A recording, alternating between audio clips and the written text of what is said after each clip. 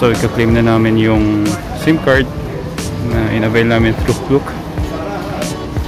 So, right at the arrival hall, ika-claim lang namin yung SIM card na kinuha namin from Klook. So, this is the SIM card that we got from Klook. So, yung SIM card na nakuha namin for uh, from StarHub was actually just valid for 7 days. Uh, we booked it from Klook and using our Klook credits, it came down to around 64 pesos na lang uh, ginamit namin Klook credits namin. So, inclusive over the SIM card, it has uh, 100 gig of local data, 500 minutes local outgoing calls, 30 minutes IDD, and 100 local SMS. So, uh, lalagay ko siya sa spare uh, cellphone na gamit namin. Uh, and use it as a um, tethering device para kumbaga uh, pocket wifi.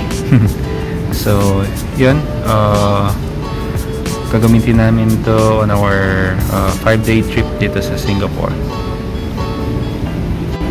okay so nai-insert ko na yung SIM card dito sa uh, spare cellphone ko na magsisilbing uh, mobile hotspot namin.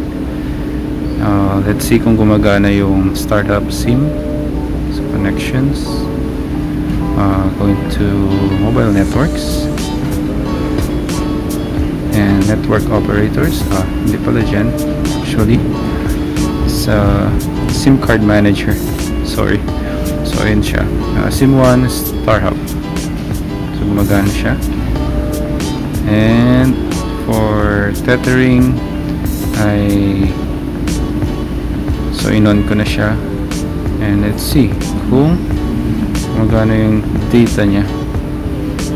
Uh, using Google.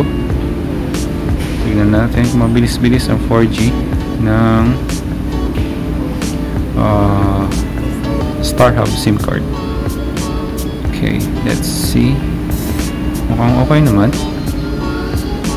And check natin yung isang website. So let's go sa uh, check na lang natin to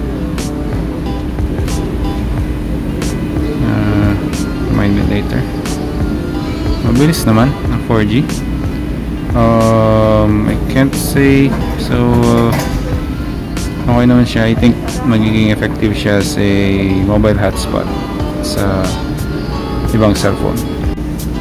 So kanina uh, pinakita ko sa inyo yung 4G uh, connection ng SIM card na to and it works well naman. And showing you now is the mobile hotspot na kinonect ko sa cellphone ko. Uh, kanina kasi nakakonect ako sa Changi Wi-Fi. So now I'm connected sa sa cellphone na sisilbing hotspot namin. Uh, it works well.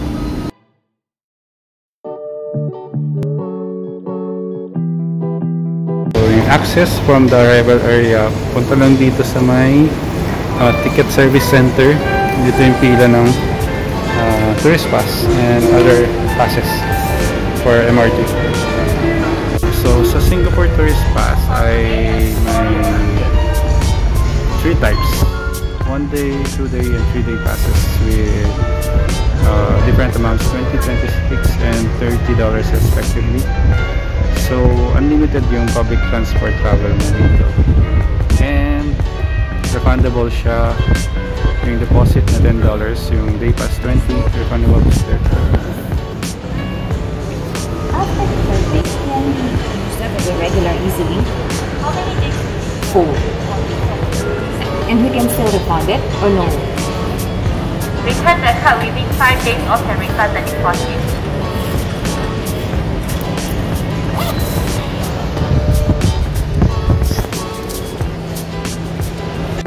So ito yung $10, I mean 3 day $20, $30 pass.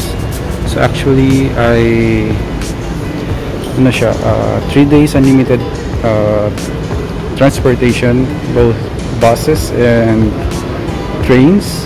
And the fourth day na wala na siya, pwede siyang gamitin as ordinary EasyLink card where you can put in stored value sa kanya.